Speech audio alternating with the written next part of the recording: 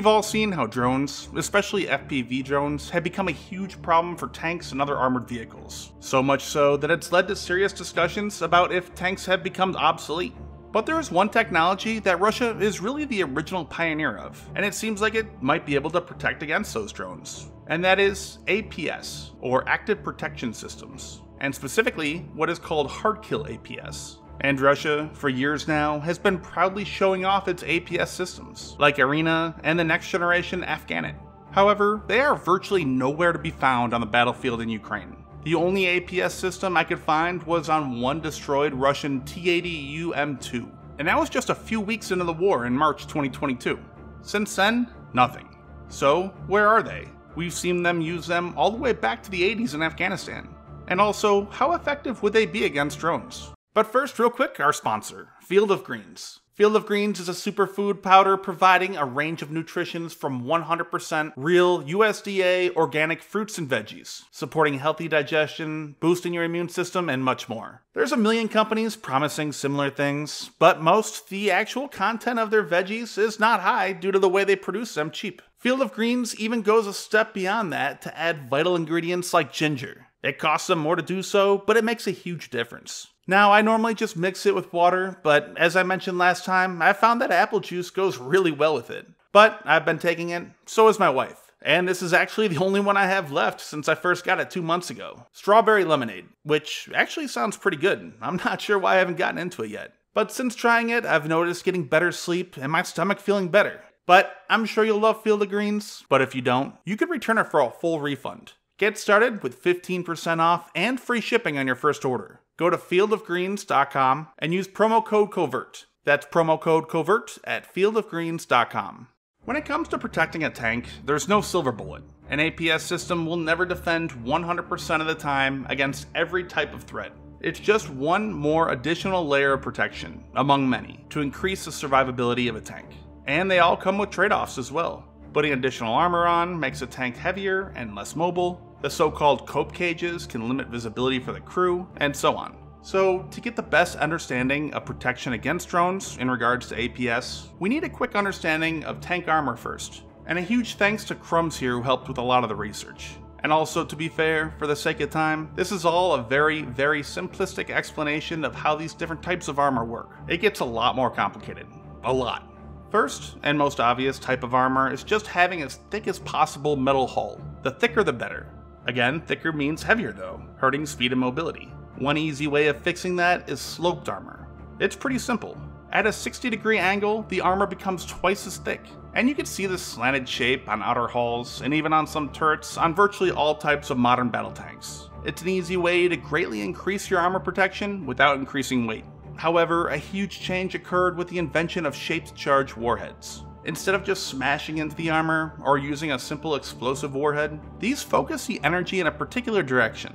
These consist of cones, roughly in the shape of a V, with the opening facing the target. The detonation wave behind it first hits that closest part, which will invert the V into a jet piercing straight through the armor. These warheads became widely used as World War II went on, and had a massive effect on the war. And they're still used widely today. In fact, it's the type of warhead that most of these FPV drones have on them. So, Armor had to adapt. These warheads, and other more complicated anti-tank weapons, led to the development of things like spaced armor, different composite armor made of various layers and materials beyond just metal, as well as reactive armor, all of which protects the tank in some pretty interesting ways, beyond just simply putting as much metal between the crew and the incoming projectile as possible.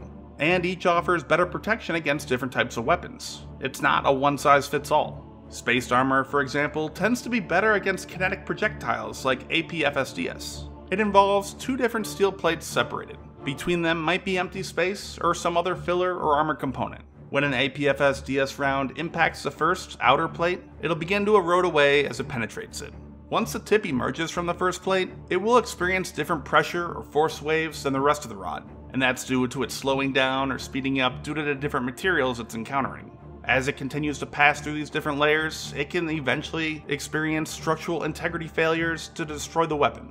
Some armor may consist of multiple layers of armor, spacing or filler, more armor, more spacing, and so on. Each progressive layer it passes through will deform the rod even more and can even change its trajectory. Another method of increasing armor protection levels without substantially increasing the weight was the development of reactive armor. Now there's many different types of reactive armor, so we'll just cover the most common type, the explosive reactive armor, or ERA. These tend to take the shape of the large bricks that you commonly see spread across Russian tanks. Where the spaced armor tends to work better against kinetic projectiles, ERA tends to work better against those shape charges mentioned earlier. And Russia is one of the main users of ERA. They put it all over their tanks, and is a pretty defining feature of them. But these, very basically, are typically two plates with explosives in between.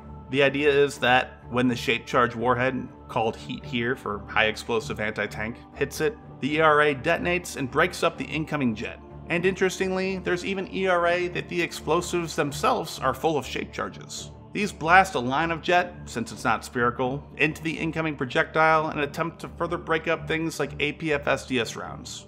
Then finally, closing out the video, and most importantly answering the question of the video, active protection systems. It's a way to protect your tank without actually adding any armor at all. There's two main kinds, hard kill and soft kill. Soft kill basically just tries to make an incoming weapon lose track and miss. These are things like smoke screens or trying to jam its sensors. Hard kill is actually destroying the incoming weapon before it can hit you. Russia's prime example of soft kill is Shtora. It's these weird looking eyes that we see, mostly on certain older T90s. Unfortunately, the way it worked isn't really effective anymore against newer anti-tank weapons like Javelin. That's because these don't use the semi-active command line of sight. So, Russia got rid of it on the newer T90M. Smoke screens are also useful, however they do take time to fully disperse. The time will vary, but roughly around 20 seconds. However, when it comes to concealed ATGM teams firing Javelin or an FPV drone, there really isn't enough time for it to be effective. Plus, if the tank is moving, it's going to eventually emerge and pass the smoke anyway. So that leaves hard kill. The exact way these work is often highly classified, and also vary by country and system. But they typically have a sensor, normally radar, that will detect an incoming threat. When it does, it will launch a projectile that then detonates and hopefully destroying the target. They work great in theory, and they have proven themselves valuable in combat. However, there's some serious issues when it comes to intercepting drones. One is their speed. Hardkill APS, like Russia's Arena, has radars that are set only to detect and intercept targets moving at certain speeds. It ignores slower moving objects, so it's not randomly firing at birds or other false targets like debris that's kicked up, small arms fire, and so on. RPGs and ATGMs typically fly much faster, so it's an easy way for an APS system to distinguish between them. Arena's speed minimum is reportedly 250 km per hour, or about 150 miles per hour. Drones, however, fly much slower. There's also the question of how effective Arena is against top attacks, and if its sensors can even see that high. So, without major changes made to the software, which then risks it firing at false targets and endangering those around it, it's not going to be very effective against drones. Also, active protection systems would almost certainly be hampered by the so-called cope cages that we see on Russian vehicles. They would most likely block the sensors and projectile launchers of hardkill APS, making it unusable. And people often laugh at these cages and make memes of them. However, we've seen them appear all over the world, like in Israel. We've even seen some Ukrainian vehicles using them. We do see many vehicles that are equipped with them still being destroyed, but that's not a great indicator of how effective they are the attacker really isn't going to be posting videos of unsuccessful attacks. We typically only see the successful ones. But even if the cages are able to stop every other drone, that's doubling the survivability of the tank, which is pretty good.